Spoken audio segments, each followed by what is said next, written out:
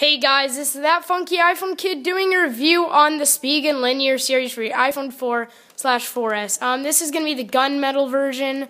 Um, this is, it looks like it's just made out of plastic. It feels really cheap, but um, it stays on your phone really well. I'll show you guys how to put it on and all that. So we see this little like black covering right here. This keeps your phone from uh, scratching, which is really cool. Then here's like this like plastic. It feels kind of metally, but I think it's plastic. And then basically you just get the back of your iPhone and then you just put it on the back like so. Then you get this part right here, and you just clamp it on. Let's see if I, you guys can see that. You just kind of clamp it on. You get it in these little grooves, and then you just hold it like that.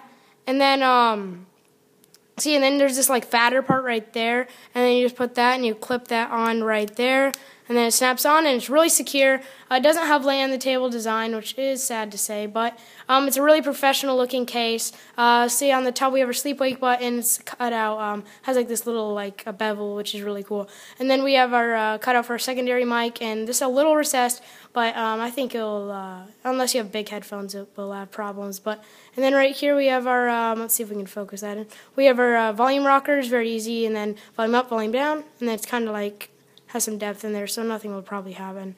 Then we have our uh, three um, little uh, individual cutouts. We have our 30 pin dock connector, and then speakerphone and microphone, which is pretty cool.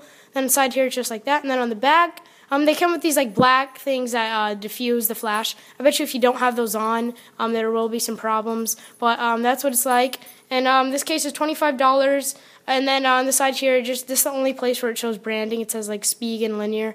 This is like the only thing. It's 25 bucks and it comes with a really good screen shield, which is the Ultra Crystal screen shield, which is really good. When I installed it, I messed up. Uh, there's a bubble right there. But um, I like this case so far. Um, I'm probably not gonna. It's not.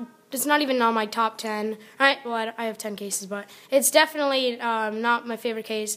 Uh, I recommend this if you're like a business person and you want something very luxurious and uh, you don't drop your phone a lot, then this would be a great case. Comes with a great screen shield, 25 bucks, not too bad of a price. Um, I don't recommend this case, but you can get it if you want. Please rate, comment, subscribe, and as always, stay funky.